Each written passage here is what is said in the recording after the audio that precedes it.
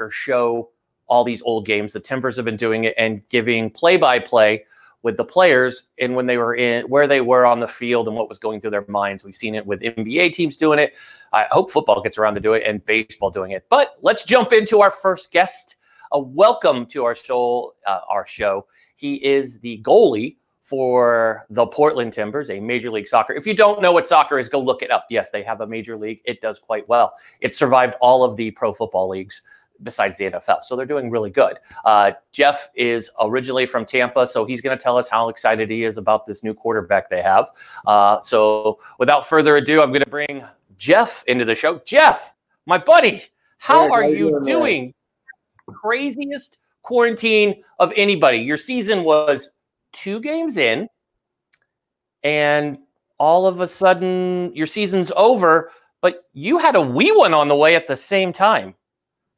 How's yeah, I mean, yeah, I don't know. I don't know if it's over, Eric. We're not gonna we're not gonna call it quits yet. Um, but yeah, I mean, it's been a crazy uh, it's been a crazy quarantine for me. We, you know, I actually I just gotten cleared. I had a, a pretty major shoulder surgery, so I just gotten cleared to return to play. Literally the day that the season got got postponed. So that was a wild ride. And then on top of it, uh, my wife was expecting pretty much any day uh, when when all this has been going down, and now we have a two week old in the house, and it's been a uh, it's been a pretty crazy quarantine experience. So, so before we jump into your your side hustle, as we'll call it, let's talk about it because I know people are dying to know. We hear all this just yesterday. Uh, a major network, a host was on there saying these professional athletes. I don't understand why they need weeks to get back once we bring them back. They should be ready to go. They should be training at all times and I had to laugh. You know, obviously I, am familiar with you know soccer. We've all played here in America at some level, and you guys run more than any other sport for sure. I mean, you guys probably compete with the NBA with up and down. Their court's shorter, and definitely, you know, a little a little easier, I would say. But I'm not going to go there because there's probably some NBA guy like, oh, really? It's easy, and I'm like. No, no, no. But for you, I mean, how do you think about that? I mean, it's going to take you some time to get back. You guys were in shape. You had gone to training camp started your season and then it's like you're done. You can't even go train, right? Yeah, it's it's it's been challenging. You know, we're in a pretty fortunate position where the Timbers are really taking care of us. Uh, they're making sure they're on top of our nutrition as best they can, and you know, checking in and making sure we're doing the workouts. But to be doing at-home workouts with, you know, not the proper equipment and not the proper coaching and all that stuff in front of us, we have to be ready to play at a high level when we return to the field. So it's kind of just like preseason. It's going to take time. It's going to take time for the athletes to be ready, to get their bodies ready. Because at the end of the day, the last thing we want is to rush everybody back and then have to deal with injuries because then that's just another thing for, you know, for sports to kind of hit a little bit of a lull. So, you know, it's important. I understand I'm a big sports fan. If I could, if I could snap my fingers and get baseball, hockey, and basketball started up tomorrow, and not think about the athlete side of things, you know, I definitely see the appeal in that. But at the same time, you got to think about the athletes a little bit as humans, and you know, also you got to think about the product you're putting on the field. If people are going out there out of shape, not as in good a shape as they're used to, and you know, getting injured all the time, that wouldn't be fun for anybody either. Awesome. So, are you still in touch with your teammates? I have seen the Timbers. I did watch your uh, amazing live stream where you guys covered uh, your playoff uh, game. It was fun watching all of your guys jump on to your Instagram feed. But you guys keeping uh, con- connected to each other regularly? Or having team meetings like I see some of the NBA guys are doing? Yeah, we're still breaking down film. Uh, we're still doing check-ins with the strength coaches to make sure everything's good. Uh, they're doing a good job of keeping us updated with, you know, the health updates. If you want to log off from the news from time to time, you can check in with the team, and they'll update you uh, a little bit nicer than I think you're getting on the news networks right now. But so it's been it's been good. They're keeping us connected. We're talking to each other as teammates, making sure the locker room is you know, trying to hold each other accountable to make sure we're in shape and ready for, you know, whenever they tell us we're able to get back into the facility, make sure we're ready for that moment. Outstanding. So let's talk about your side hustle. Uh, obviously, you have soccer, uh, but you are a sports fan. Uh, we all know if you follow Jeff on social, the one thing you know is that he loves the Tampa Bay Buccaneers more than anything. And in this offseason, the Buccaneers picked up this okay quarterback, I guess, uh, from this team that we all hate, New England. So everybody likes it's funny Brady's not hated anymore because he left the cheaters. I mean the Patriots. Sorry, I got the name mm-hmm. wrong. Uh, the Houston Astros of football. Uh, so now he's on your team. So you also, so it's kind of a segue here. So you are an author of children's books on sports called "It Had to Be Told." So yeah, I, I, yeah. Tell us a little bit about So- that. I will. Yeah. So it's it's funny you bring up the Brady and the cheating scandal because it's we actually mentioned that in one of our books. So one of our books is called The Greatest Ever, and it's a story of you know Bill Belichick and Brady and the Patriots. You know whether you hate them or you love them, it they, you can't argue that they're the best ever. So we turned it into a nursery rhyme, kind of telling the saga of the Patriots. We mentioned Deflategate, that's in there. We mentioned how Commissioner Goodell suspended uh, suspended Brady for a little bit, and you know, so we cover all the bases in the children's book. But yeah, so our company it had to be told it's you know we write historical sporting events in nursery rhyme format so that it's fun for kids to read, it's fun for the parents to read, and for me, you know, it I just think it creates a great way for that love of sports to create the bond between the parents and the kids, and and at the same time, you know, it kind of tackles the the kids that aren't really into reading. Because I know for myself, I wish that I wish that there were opportunities for me to you know, read about different sports things when I was younger because it probably would open my world up a little bit more to reading instead of just, you know, going to the newspaper and checking the scores every day. Absolutely. And so some of the titles, uh, I you know, obviously I know about them, but like the Cubs, everybody knows the the you have one on the Cubs. Kind of break down the stories that you have. I know, which is ironic because we're here in Portland, Oregon. You have one on the Cavaliers, uh, which is funny because we do have a native Portlandier. I guess is that the word Portlandier or Oregonian? Uh, I guess we'll go with. Uh, Kevin Love is featured in that. So you have one on the Cavs. What other books do you have? Yeah, I mean, can I pull them up? Is it all right if I pull them Go up? ahead, and pull a up bit? Sure. All right, so There's no rules on this show, Jess. Right, That's why yeah. it's easy. You self play, bud. We need everyone needs to read. Uh, Mm-hmm. this is great. I mean, I know my kids love sports, and it's hard to like make them sit down and be like, Michael Jordan was the best. You sit down and enjoy it. But remember, April 19th, watch the Last Dance on ESPN to see Michael Jordan because that will truly be the number one ratings of the year. I'm predicting. Just Yeah, off the top that'll. of my head. I mean, I already have it recorded. I already let yeah, the right. I think everybody I've talked to is like, let's. We're gonna watch this thing. It's gonna be great. So I already Okay, the, show us the books. I already let the wife know that HGTV is coming off. I, my daughter knows that you know Bubble Guppies or whatever we're watching on whatever random day. I'm watching basketball that day. But no, I love it. We touched on it. My favorite book is uh, Cleveland wins a championship. It's about the story of the 2016 Cavaliers, and it's funny, you know, we actually have Michael Jordan in one of the pages because he broke their heart with that big shot uh, in the playoffs the one year, and so you know we had to mention that for the misery of Cleveland fans. But no, that's so we got that one. We got the Tom Brady book I was referencing, uh, just about you know their comeback in the Super Bowl down 28 to three, and just kind of the you know the saga of Tom Brady and how he went from somebody that nobody really wanted to the best quarterback of all time. Whether you hate him or love him, it's you know that can't be argued. So we made, made a story about that. We have the curse ends, which was kind of the inspiration for the whole story. It's uh, you know it's a story of the 2016 Chicago Cubs, and the fun thing about this book is if you remember that series, it was just a star-studded affair. There were people from all walks of life that were you know coming together and cheering for the Cubs because, as far as we all knew, they were never supposed to win anything. And so we made we made sure to uh, put some you know put some Hollywood in the pages for the parents to you know pick out their celebrities that they see that you know were all over the TV. We did uh, this one will strike a nerve I think more than the Patriots, but we did one about Alabama football. Oh wow.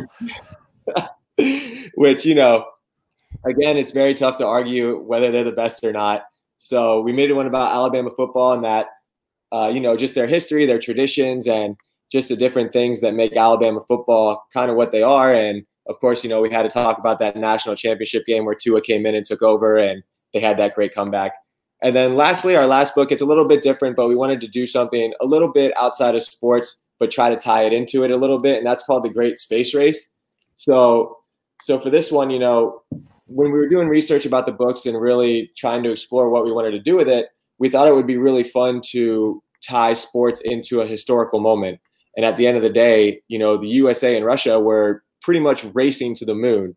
So we put our fun little like track spin on it, turn it into almost like a track story where they're about to take off from the starting line and just cover the history of it a little bit. So that way, maybe you know, we're taking people who enjoy space travel and we're taking people who enjoy sports and just kind of rolling it into one and hoping that people enjoy it.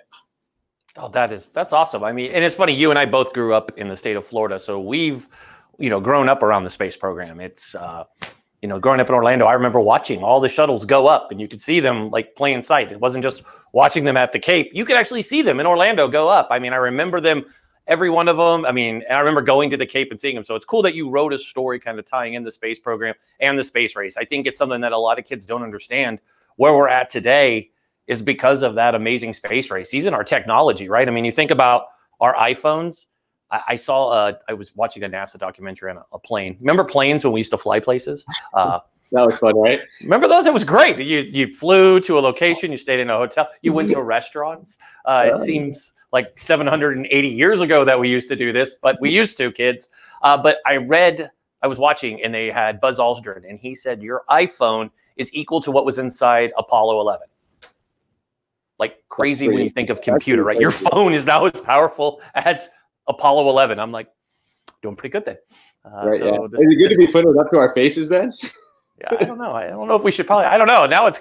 I try to use earphones as much as I possibly can, so that's uh, that's kind of my uh, go-to with that. Uh, but so what? What have you been doing to keep yourself besides having the wee one? What are you doing to keep yourself busy during this crazy time? Uh, you know, I, it's kind of how we'll wrap up your segment. Like, what series are you binge watching when you're not watching Guppies or you know Baby Shark or any other things that you have to watch with wee people, and when you're not busy taking care of the two week old and staying so, on the wife's good side, what does what do you do for fun?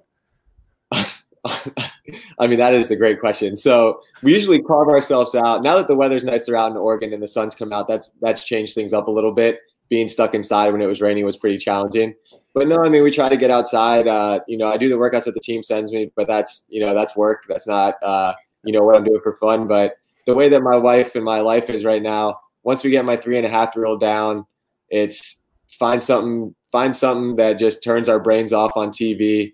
Of course we did. Of course we did Tiger King because, you know, if you were a week late to Tiger King, you felt like you were missing out on everybody. So we did a little Tiger King. We did that. And then, so now we're just, I don't know. The the latest show was Veep. Veep is a good one. We've been watching that, but really we're just watching things at the end of the night to you know bring some humor to our lives and let us turn our brains off a little bit because our family life has us so uh, you know just exhausted at the end of every day. So let me ask you, how do you feel about Tiger King? Uh, I watched the, I watched all of them. Have you watched all of them? Have you binge watched? I have, yeah. I haven't watched the newest released episode where they're interviewing people yet, though. It's an interesting one. I mean, isn't it a weird show? Like living in Florida always kind of makes me laugh when you think that's like Tampa, right? That's where Carol isn't that where she lives? She's a Clearwater yeah, person. Of course, it's it's always Tampa, man.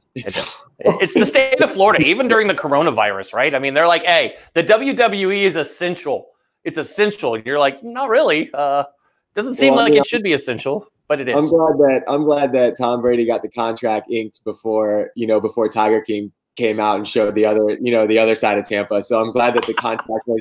I'm glad that the contract was signed. I love Tampa. I'll, I'll represent Tampa. I, I think it's a great city, but there's uh, there's always some interesting stories that seem to come from come from the place that I love so much. oh, so true, right? Well, uh, it's been great having you on. Uh, I mean, plug away. I, I, showed your link. I'm going to put it up again for folks to go grab the book. Can they get it on Amazon? Tell everybody where they can go get the book. Besides this link. I just put at the bottom. Yeah, so we actually made so the link on the bottom. Uh, we actually made free ebooks for families and for kids who, you know, if you're missing sports, if you need something to change up your daily routine or you know, if your kids are trying to find a new way to get into reading, just all the things I talked about before. So we made the ebooks available for free uh, for three of the titles, and they're on that website. If you want to get a hard copy, you know, we have them available on Amazon. We have a website that's ithadtobetold.com. And, you know, of course, feel free to grab them for free. We know that times are tough right now, and hopefully, you know, it can help parents, it can help kids, and it can kind of bridge that gap that they're missing with sports and school because at the end of the day, that's what we are going for with our books. But you know, if you want to buy them, if you want to support, uh, you know, we're up on Amazon, we're up on our website. It had to be told, and you know, any support would be great. But at the same time, you know, feel free to take advantage of the free ebooks because you know we want people to uh, we want to help out and do what we can to get people through this tough time. Absolutely. So let me ask you one closing question because I know people are going to ask. What do you think? Are we going to get a? Are you going to get a soccer season in this year, or what's your what's your gut telling you? You don't have to cough up anything you're not supposed to, but let's get some you know get some insider knowledge. What do you think? Do you think we're going to get a season? I think I think we're going to get something. You know, I really do. I think that you have a lot of really smart people and a lot of people that are in touch with the government and trying to figure this thing out. Because at the end of the day, I think you know the world needs sports, and people know that the world needs sports. It's good for morale. It's good for you know it's good for a lot of things and at the end of the day, I I, I believe that people are going to figure out a way to make something work. Um, you know, if you look at if you look at just the history of the country, and if you just look at you know dealing with issues and people having resolve and figuring out ways to to get creative to you know make something work, it's you know we have a good history of that. It's it's kind of one of those situations right now where you have to adapt to the new normal, and luckily, you know, there's a lot of smart people behind the sports world that are you know, coming up with plans to to make sure that we have something. And you know, I'm I'm keeping faith. I believe that we will come up with something, and I think it'll be different for sure. But you know, I think right now the world needs sports more than anything. So, well, not more than anything, but the world needs sports. The world the world needs sports right now to you know give people a little hope and bring people together. So I'm hopeful. I think I think we'll get something, some form of it. And I think uh, when it kicks off, it'll be fun. It'll be exciting, and people will be people will tune in because you know, at the end of the day, everybody's missing it. You hit the nail on the head. We are all missing sports. Uh, I don't care who you are. It is weird going all this time without sports. I mean, the first week I was like, oh, I'll get through it. Now it's really hard. It's like, what am I supposed to do? And I was saying before you came, if you caught it, but I was talking about the NBA has done this horse, this horse competition they did on Saturday, Sunday. I don't know if you caught it.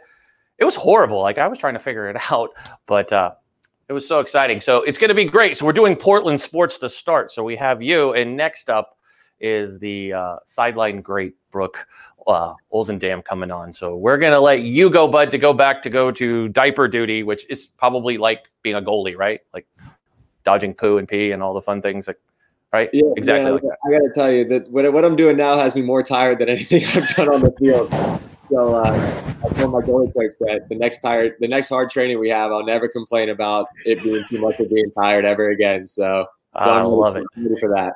Hey, thanks for coming on today, Jeff. I appreciate you. We'll have you on in a couple of weeks. Uh, hopefully, you're training for a season and can't make it. That's what our wish will be. But if not, we'll have you on again real soon. Thank you.